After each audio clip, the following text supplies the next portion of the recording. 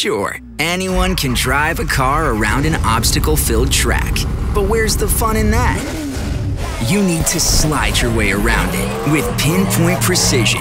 Calculate the right angle, pull the handbrake, work the throttle, and let your tires spin in total control of your car. Burn rubber, baby!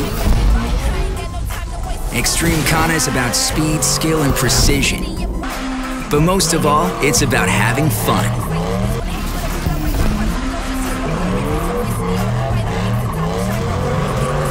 It's the best feeling in the world, and now you feel it.